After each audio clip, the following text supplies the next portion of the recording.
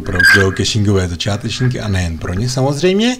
A dneska se podíváme na to, jak vytvořit Adventure Lab.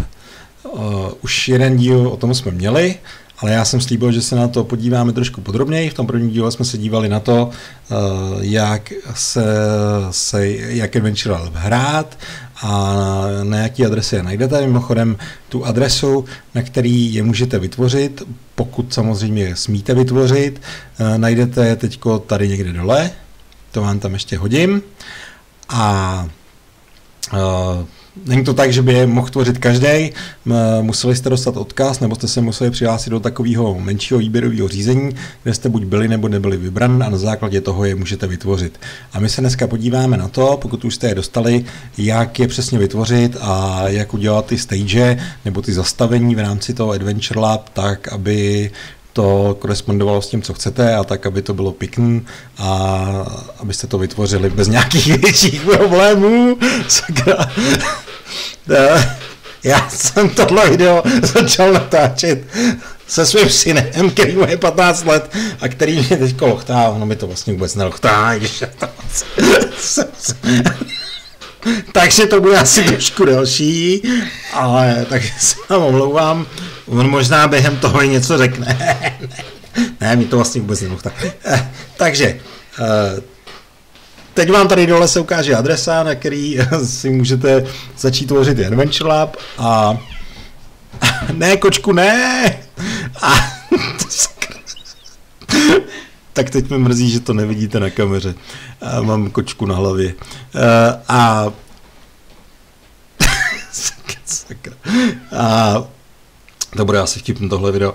A já to nebudu přetáčet, eh, ať je to trošku autentický. A, a podíváme se na to, jak si vytvořit jednotlivý zastavení a tak pojďme na to. Tak jsme na hlavní stránce. Vy už tady vidíte, že tady mám nějaký adventures eh, vytvořený, jedny. Kdybych žádný vytvořený neměl, tak tady místo té nuly takhle vpravo nahoře mám jedničku. Vy, protože pravděpodobně ještě vůbec žádný vytvoření nemáte, tak tady nebudete mít ani tohle, co tady mám já, tady ten obrázek s tím popisem, ale budete tam mít něco takového, přesně v tomhle místě budete mít takovýhle tlačítko, to je jenom obrázek samozřejmě, Já jsem chtěl, aby to vypadalo dobře, takže tohle tam nebude a bude tam tohleto tlačítko, na který když kliknete, tak se dostanete někam do takového popisku, kde to Adventure Lab první svoje budete zakládat. Já se na to dostanu úplně jednoduše tím, že rozkliknu tady to svoje a dám edit. A vám se, eh, když dáte to Create Adventure Lab nebo eh, Create New Adventure, tak se vám rozklikne přesně tohleto okno, který tady vidíte zrovna teď. Eh, přemýšlím, jestli se mi to nahrává. Jo, nahrává se mi to. Uh, takže tady první choose a name for your adventure, takže zadáte nějaký jméno. Já jsem tomhletom, v tuhle chvíli, protože to budu tu zvolil jak český název, tak anglický a zároveň jsem to dal i do popisku, že se bude rovnat, uh, jednat o češtinu a angličtinu. Tak, další takový políčko, který je tady, uh, ještě se vrátím teda k tomu názvu, můžete zadat název, který bude 50 znaků, včetně mezer. Jo, tak pozor na to, ať to nemáte příliš dlouhý, ono by vás to stejně jako by dál, dál nepustilo. Tak, eh, další, dal, další políčko, který, mám, který tady máme, bohužel, jak jsem říkal, ty popisky jsou v angličtině, eh, tak zkusíme si říct, o co jde. Eh, v tom dalším políčku máte k dispozici 1024 znaků, zároveň se vám ukazuje, kolik máte použito a vy tam dáte nějaký obecný popis toho vašeho prvního, tý, tý, to, ten první popis, který se ukáže, když si někde to vaše eh, dobrodružství otevře. Takže to je asi jasný, dáte sem popis. Pak tady máme obrázek, cover image, Choose an image that best represent your adventure. Je tady doporučená velikost nebo větší. 1125 x 1050 nebo větší, je to doporučená velikost, takže vy si sem nahrajete přes tohle tlačítko obrázek, který bude reprezentovat to vaše dobrodružství. Pak tady máme startovní pozici toho vašeho dobrodružství. Takže eh, sem zadáte nějakou formou GPS úřednice, můžete sem zadat třeba GPS úřednice, které vám vypadnou v plánování na mapy.cz od seznamu. To samozřejmě je možný, ten systém si, ho, si to tady převede do těch souřadnic, který, eh, který je schopen použít. Hráte View on Map, jako ukázat na mapě a ono se vám tady ukáže, kde přesně ten start máte, abyste si mohli zkontrolovat, jestli to sedí s tím, eh, s tím třeba, co máte z těch mapy CZ eh, okopírováno. Tak. Pak tu máme. A pak to poslední, co tady je, a kromě toho, že musíte potvrdit tady, tady že souhlasíte s nějakýma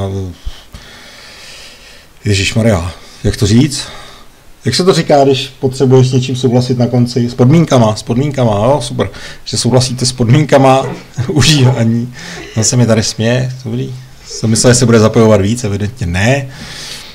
A to prosím tě, nehlaš nám tady jména jiných blogů, jo? To nechcem, aby bylo slyšet.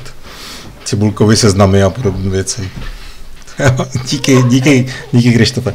Tak uh, to předposlední, co tady je, ještě před tím potvrzením těch, potvrzením těch podmínek, je, je neblbní, je, tak mi řekni, jak se to čte, když jsi taky trý. Pojď, pojď, když to teda ode mě jak od rodilýho mluvčího. Custom access, co ne? no jasně. no, tak tak jasně, no. Takže tohle je to bolíčko, prostě. Uh, máte tam zadat unikátní, eh, ne kód, jak by, se, jak by se mohlo zdát, jako není to žádný přístupový kód do toho adventure, do toho vašeho dobrodružství, ale je to uh, adresa, která se bude zobrazovat na konci té webové adresy. To znamená, Eh, tam bude nějaká adresa, lomítko a na konci bude něco takového. Železná opona třeba. Eh, je to unikátní webová adresa, kterou eh, to dobrodružství bude mít. Takže není to žádný složitý přístupový kód, který by někdo musel na začátku hledat, aby ho tam zadal, ale je to to jméno, který bude ve webové adrese. Musí být unikátní, nesmí už být použitý. Máte tady na něj vymezeno 20 znaků. Tady. No a pos, úplně poslední je to potvrzení těch podmínek a zavazuje se tím, že budete dodržovat prostě závazný pravidla od um, geocaching.com, takže asi tak. No a dáte Update Adventure a máte založen své první adventure a můžete se směle, uh, vyskočí na vás takováhle stránka, tak, výborně, s, nějakou, s nějakým tím obrázkem, s tím popiskem, který jste zadali. Tady už víte edit, test, delete, leaderboard, active log, nějaký QR kód toho vašeho dobrodružství, včetně té webové adresy, na který ho najdete, to je tady v tom okně. Já to momentálně mám rozmazaný, protože nechci, aby to každý viděl. No a tady potom dole tak já vám to rád může, přečtu. Můžete, můžete tvořit ty lokace, kterých, nevím, může být, kterých může být až pět. Takže pojďme na to v té další části. Když se jdeme tady na té stránce dolů, tak se dostaneme na lokace, kterých může být v tom vašem dobrodružství až pět. Uh, já tady teď mám vytvoření čtyři, vidíte ty obrázky, zbytek je uh, rozmazaný, protože nechci, abyste viděli uh, odpovědi uh, a otázky a odpovědi na ty konkrétní stage, protože to tam potom je vidět, když si uh, ty lokace potom uložíte, když se vám tam ukážou. U každého toho jednotlivého obrázku je popisek, je tam nějaký výčet toho vašeho textu, je tam otázka vidět a je tam i odpověď. Vidíte, že tady nahoře mám ty lokace 4, my si vytvoříme tu pátou, ukážeme si na ní, jakým způsobem se ty lokace tvoří. A ještě k tomu, eh, tady je takový zaškrtávátko, a je tam play locations in sequential order. A znamená to, že když je to vypnutý, tak vy ty lokace můžete navštěvovat, respektive ten člověk, který na ně půjde, tak je může navštěvovat na přeskáčku. Je úplně jedno, jestli půjde nejdřív na trojku, potom na jedničku, potom na čtyřku, potom na pětku.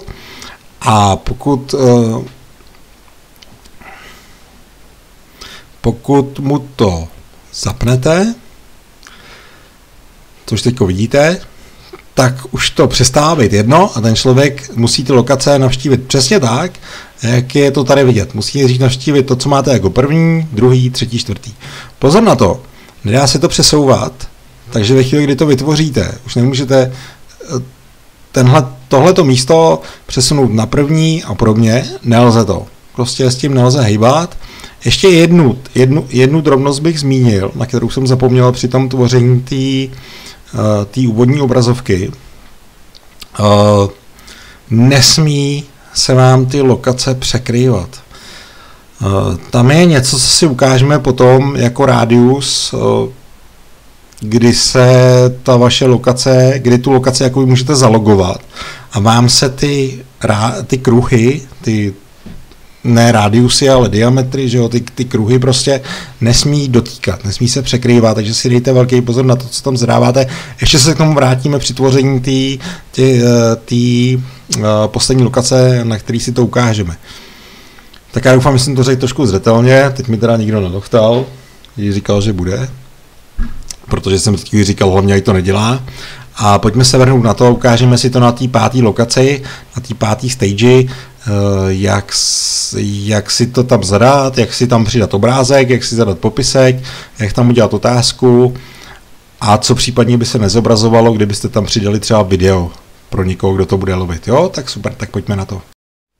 Tak a já to nebudu mazat, a rovnou si namažu máslo na hlavu a řeknu, že jsem kecal, protože ono to jde přetahovat, ty místa jdou měnit, protože když jsem zaškrtnul to pořadí těch lokací, který musí jít přesně za sebou, jak to tady vidíte v tom prvním zaškrtávátku, jak jsme si o tom, jak jsme si o tom říkali, že budete muset jít jedna, dva, tři, čtyři, tak hned tady se rozsvítil takovýhle nápis v angličtině který říká, že prostě můžete přetahovat ty místa tak, aby šli za sebou podle toho, jak vy si to vlastně přijete. A já jsem strašně tápal, jak to udělat, protože tady se objeví taková dvojitá šipka a to fakt jde. No, můžete to prostě takhle, takhle to můžete měnit. Je to skvělý, protože teď jsem si to rozházel, budu si to muset srovnat, ale díky, díky tomu, že jich, tam, že jich tam jsou momentálně jenom čtyři, tak to není zase takový problém, ale víte, že to jde. Takže se, takže se omlouvám, ma za to nebudu. Děláme to takový jako fajn kontinuální. A pojďme se vrhnout do té další části, jak si udělat tu, tu poslední stage, respektive jakoukoliv stage, protože ji budete moct přesunout. Pojďme se podívat na to, jak si zadat tu jednotlivou lokaci. Takže eh, tady máme, eh, že máme vytvořené čtyři lokace momentálně, chceme přidat tu pátou, takže to je tohle tlačítko Create New Location. Kliknu na to. Objeví se nám takováhle stránka, kde budeme tu naší jednotlivou lokaci zadávat. Takže zadáme si tady jméno, který může mít maximálně 50 znaků. Já už jsem tady něco zadával, nicméně já to mám tady bokem hozený takhle v textáku. Takže já si to sem takhle pěkně nakopíruju. Výborně. Eh, to druhý políčko je zase popis té jednotlivé lokace. Eh, můžete mít maximálně 1024 znaků s tím, že se vám ukazuje, kolik máte obsazeno. Tak, já si to tam zase takhle pěkně nakopíruju. Tak. Další políčko je popis, nebo respektive odkaz na YouTube, kde může být video, který mm, by vám tu lokaci popisovalo. Můžete to tam dávat a nemusíte. Můžete to zůstat úplně prázdný. Tak, máme tady cover image, to znamená obrázek, který se bude zobrazovat u té jednotlivé lokace, takže dáte si vybrat soubor, Vyberete si ten konkrétní soubor, který tam, který tam chcete mít. Já tam chci mít tenhle ten. Fajn. Potom souřadnice té lokace, té konkrétní, já to asi mám v tom textáku. Takže lokace, ukázat na mapě. Výborně. Já bych se ještě vrátil, vrátil možná k tomu obrázku, se omlouvám, že přeskakuju. A se tady jsou doporučené rozměry 1025 x 1050 nebo větší. Tak, tady si, jsme si teda zadali ty souřadnice, ty lokace a jdeme dál a máme tady takový geoplot, tomu, tomu říkají. To je to, co jsem, to, co jsem říkal. Neměli by se ty lokace by se tady neměly překrývat, neměly být hodně blízko u sebe. A teď tady máte geoplot, já tam se dám 50, jako 50 metrů. Je zajímavý, že tady je nějaký rádius uh, od 20 metrů, uh, zadáváte to jako rádius, takže tady, když je 50, to bude 100 uh, eh, v průměru, pochopitelně, a tady je 20 metrů až a teď možná 100 metrů anebo 100 tisíc metrů. My jsme se tady dohadovali s mladým, uh, jestli je to 100 metrů nebo 100 tisíc metrů, jakože 100 kilometrů. Uh, je to prý logický, no, dobrý. Uh, a jak je to logický teda? Co ne, Jo, tak to, ne, tak to nemůžu zveřejnit, co říkal. Uh, uh, úplně si jako nejsem teď jistý. Eh, nemáte návod u sebe, možná se do toho ještě můžu uknout, můžeme to, když tak probrat ještě pod videem. Eh, došel jsem k tomu, že je to ten rádius, kde to můžete zalogovat. Eh, takže si myslím, že to druhé číslo je 100 000 metrů, to znamená 100 kilometrů, ve kterých můžete zalogovat tu danou lokaci. To znamená, když vy budete já nevím, 4 kilometry od toho v penzionu, takže tam můžete, ale tak to můžete zalogovat v tom penzionu, ty 4 kilometry s dánem, ale teď se přiznám, že jako bych kecal. Takže e, trošku jsem to chápal tak, že e, ty metry jsou o tom, že se vám ta lokace zobrazí ve chvíli, kdy budete maximálně 50 metrů od těch souřadnic, který jste zadali tady v tom kroku nad tím. Asi bych takhle postupoval být váma a dal tam nějaký rozumný číslo, nedával tam, já si myslím, že tohle prostě nebude 100 kilometrů, ale možná, že jo.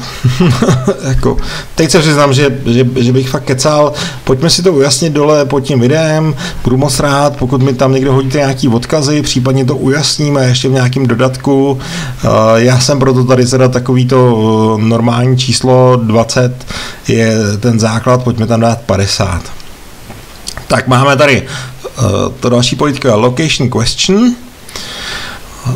Bohužel je to tady zase v angličtině. Uh, je tady enter the question a player must answer to complete the location. Takže abyste mohli dokončit tu lokaci, uh, tak tam musí být zadaná nějaká otázka pro to, kdo to, kdo to bude lovit. Uh, já ji tam zase mám takhle pěkně připravenou, takže si ji tam nakomč, nakopčím. Ježišmarja. Jo, já jsem to nakovídoval do špatného políčka, pardon. tak. Uh, a to další políčko, který je pod tím, je odpověď na tu otázku. Uh, takže... takže 1989, super. Tak, můžete tam dát video, uh, který se zobrazí potom, co bude odeslaná správná odpověď ale důležitá věc, že tím, že tam přidáte to video, tak to video uh, díky tomu přidanému videu zmizí všechny obrázky, které jsou tam uploadované, které jste tam přidali. Takže když se rozhodnete sem dát video, tak vám to překryje veškeré ty obrázky, které tam jsou. Takže je to čistě na vás, buď tam dáte to video, nebo tam budou ty obrázky. Doporučuji to možná nevyplňovat, pokud nemáte to konkrétní video. Tak, tady máme potom obrázek, který se zobrazí potom, co tu otázku správně zodpovíte. Takže já tam dám úplně stejný obrázek, který byl na tom začátku. A ještě tady je právě ta poznámka, že images and messages will only display if no YouTube video was added. Uh, takže pokud tam, zase říkám, pokud tam přidáte tohleto video, tak obrázky a zprávy se tam nezobrazí, pokud tam bude přidan to video. To znamená, i tenhle ten obrázek by se tam neukázal. A tady máme potom uh, ještě to úplně poslední, je poznámka, kterou tam můžete napsat, pokud ten člověk správně zodpoví tu vaši otázku, tak se může ukázat zpráva, která se mu zobrazí, ale ta se mu zase nezobrazí, pokud tam bude přidan tohleto video. Takže prostě pokud dáte to video, tak padají padaj ty věci, které jsou tady pod tím a ty se prostě neukážou.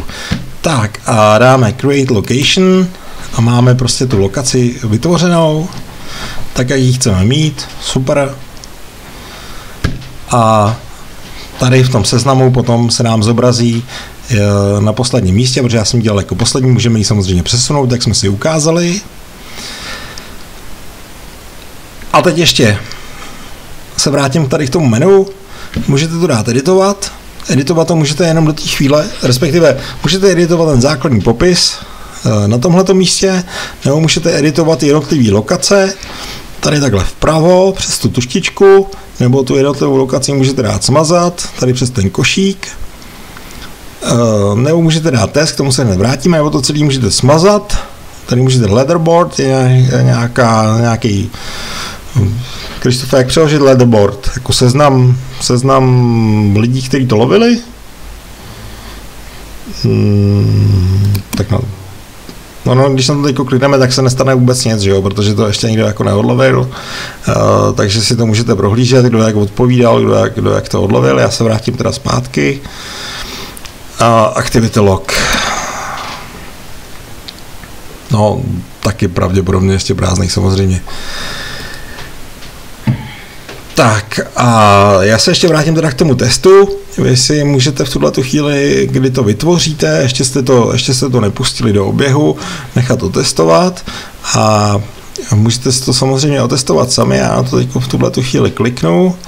Tak a vám tady se zobrazí takovýhle červený okno navíc a tady je adresa. Vy na tu adresu kliknete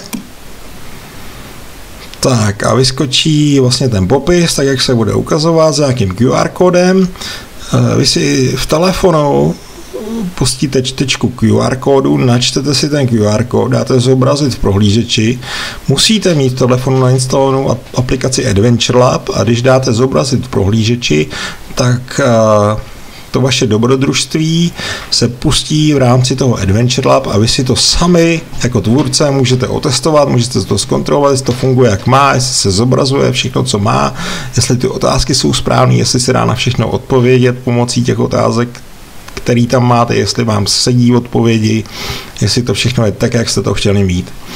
Tak, a to je závěr dnešního dílu, možná trošku delšího, možná trošku smaterýho, trošku lochtacího.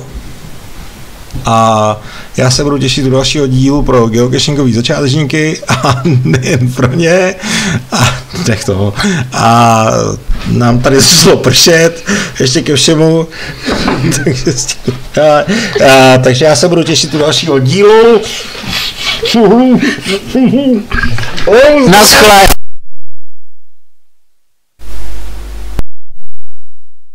Hoi.